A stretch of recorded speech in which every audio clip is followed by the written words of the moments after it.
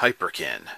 Hyperkin interests me because, well, they make retro video gaming materials.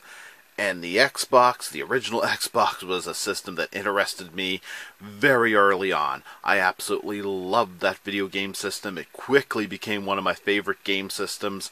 Granted, the original launch group of games, the first games that launched with it, the only one that stood out to me was Mad Dash Racing, but the capabilities of the system, the controller, the appearance, and soon was released a whole bunch of really amazing games from Sega. Uh, the Xbox really won me over. It's a video game system I absolutely love. So allow me to rant about a subject. And I'm gonna just rant as much as I can rant on this subject, and as rant like as possible on this subject. Because here's my chance to talk about Xbox and retro video gaming and memes. Memes. They're more than just pictures that people share on Facebook. I got some free time today, so I'm going to fill myself with caffeine, do a few things that I want to get done. Ooh, vanilla double shot. Starbucks, Starbucks, yeah. I, I normally drink Monster uh, when I get the coffee flavored. Uh, anyway, yeah, yeah. Caffeine. Need caffeine. Gonna talk about video games.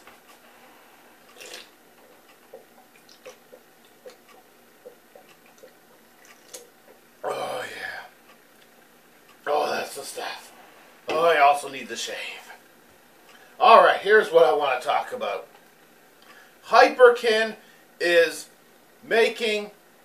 I think Hyperkin's going to replace Retrobit as being like the company I really respect um, that makes retro gaming stuff. Hyperkin is making a replica of the original Xbox controller, the one that people nicknamed the Duke. The good one! Well, actually, the Xbox 360 controller was great. Don't have that much experience with the Xbox One controller, which in a way is really the Xbox 3, but whatever. Uh, I don't have a lot. Of, I'm not going to judge that one. But the Xbox 360 controller was great.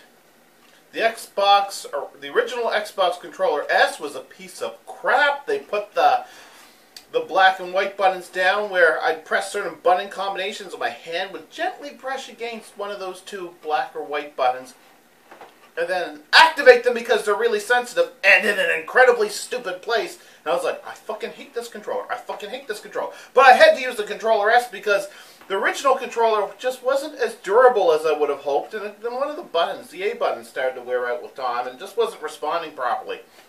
So I had to get a new controller, and they stopped making the controller, the original Xbox controller. The proper one, the one that they now call the Duke.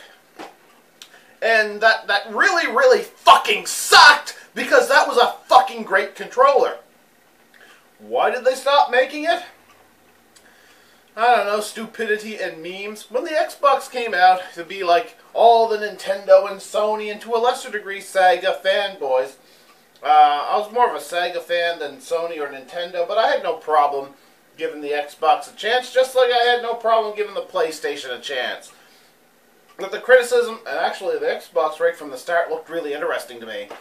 Uh, but there were complaints about the Xbox. I remember some. This was the line I remember online. It's bigger than a Commodore 64 with twice the loading time, which was just stupid, but whatever. And then when people made fun of the controller's big size, well, it actually was big compared to the GameCube controller or the PlayStation 2 controller. So that meme stuck that has this horribly big controller. Um, and I never really heard that complaint too much at first. I heard it a bit, but it was mixed in with other crap. But I got the controller, loved it. It was designed to fit the human hands perfectly. Wasn't bigger than a Dreamcast controller. Nobody had a fucking problem with the Dreamcast controller. Way better designed than that fucking Dreamcast controller. But hey, gonna complain about the Xbox controller. Not gonna complain about the Dream. Even worse than the Dreamcast. This Dreamcast controller might not have been as good as the Xbox controller, but actually was kind of good. The Nintendo 64 controller, just as fucking big. Awkward. You'd have your fingers on your. Despite the fact it had a big size, your fingers were cramped all over it, and it, and it like it just cramped your fucking fingers. The the Nintendo 64 controller was fucking horrid. Xbox controller, hey, fits the hands perfectly. Everything's angled in a position. The main action buttons, there's four of them, and they're positioned so that you can really move your thumb really rapidly back and forth from one to the next. And then you add the black and white buttons positioned so it's almost like two rows of three. Wow, perfect! You know, um, perhaps not as perfect as the Sega Saturn controller was, but a different sort of thing. And for something with two analog sticks, the best fucking double analog stick controller I ever saw.